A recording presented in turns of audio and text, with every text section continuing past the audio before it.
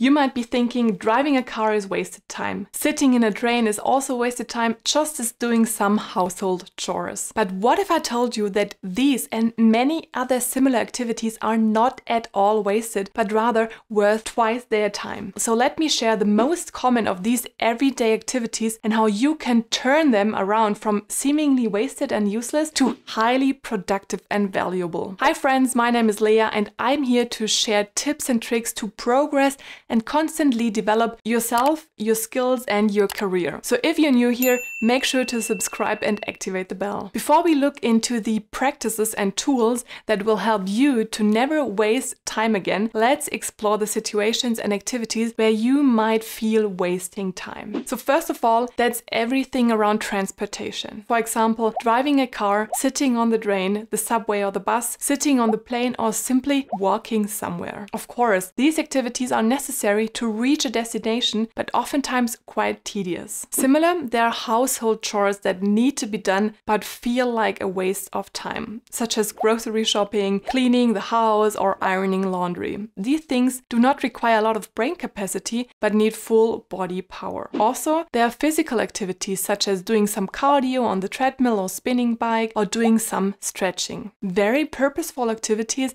but at the same time, they can be quite monotonous. And finally, there are waiting times in everyday situations. For example, when sitting in the doctor's waiting room or when waiting for the bus or the train to come. All these situations are seemingly useless, wasting a lot of time. But let me show you how you can make use of these time slots and not only get from A to be or doing some exercise, but at the same time use that time very productively to get even more out of these slots. Let's first look at these activities where you need to be physically present and can only listen in parallel such as when being on a car on being on the treadmill. The easiest thing you can do in parallel is listening to an audiobook or a summary thereof. The most prominent apps for listening to audiobooks are probably Audible or BookBeat. At least from Audible, I know that they also have a driving mode that has special settings for when driving a car, such as a simplified screen. But there's also Blinkist, for example, an app that summarizes the content of an entire book within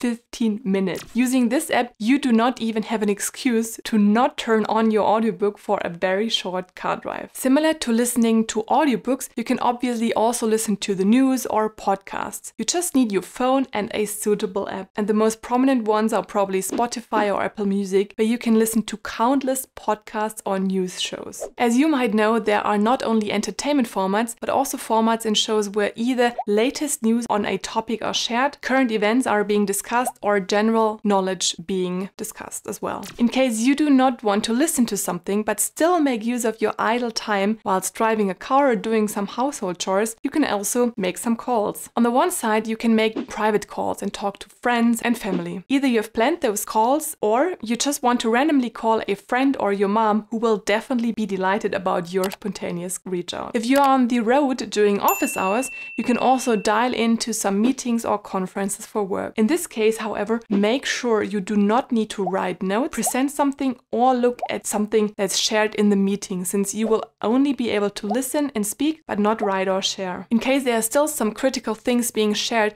you could just ask another colleague to dial in as well, or to take some notes and screenshots for you to review afterwards. If you're not in the mood to listen an audiobook, nor to have some calls, you can also just use the idle time and brainstorm on some topics or think through some of your ideas, projects, or plans. So, from my own experience, I can tell that my brain works really well and gets quite creative when I'm doing some monotonous tasks such as driving a car or being on the treadmill. It seems as if performing such tedious tasks where your body is in autopilot, your brain can free up some space for other creative work since it does not have to steer the body as well. Let me know in the comments if you have experienced the same thing in the past as well. Now, let's look at those activities where you can not only listen but also do something in parallel, such as when sitting on the train or plane or when waiting in a queue. Probably the easiest thing you can do do, and almost everyone is already doing nowadays, is to answer chat messages or emails. So if you look around in the subway or at the airport when waiting for boarding, most of the people use their smartphones. However, please be cautious about what you're doing. If you want to make use of that seemingly wasted time, you should be very specific and actually deal with something required and not look at one meme after another, even though this might be nice as well. So just try to first answer all open chat messages and easy to answer emails before moving to another thing. Once finished with answering all messages, you can continue to complete simple tasks that can also be done just by using your phone. You could make dinner reservations, book a rental car,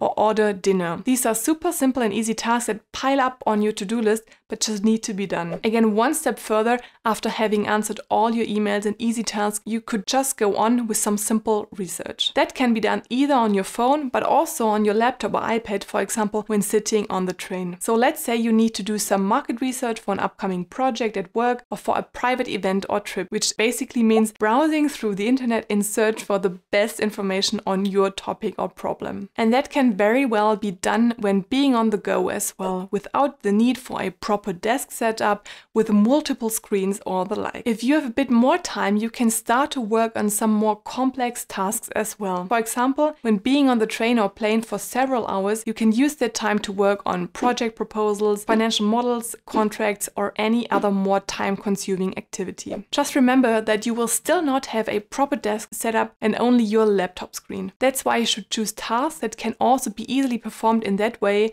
without requiring more equipment besides a small screen, a keyboard, and your brain power. Last but not least, let's not forget that we can also read a physical book or a magazine. Even if it's quite convenient to listen to an audiobook or podcast, not having to carry around heavy books or newspapers, we can still do that. And to be fair, sometimes I also prefer reading a physical book just because it feels very nice turning over real pages, or it's sometimes even more convenient reading a book with many charts or illustrations that can sometimes not perfectly be described in an audiobook. So if you found that video helpful, don't forget to give it a like and subscribe to the channel. Also, feel free to check out my other videos with helpful tips on self-development and practical career advice. Thanks for watching and see you next time.